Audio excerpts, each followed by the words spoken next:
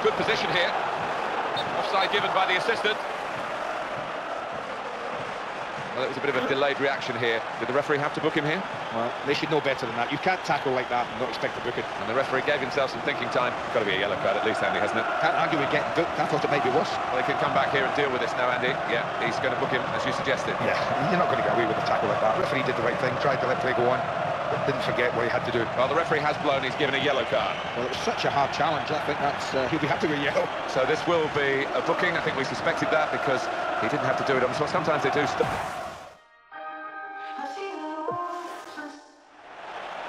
And that is going to be a booking in the end. I think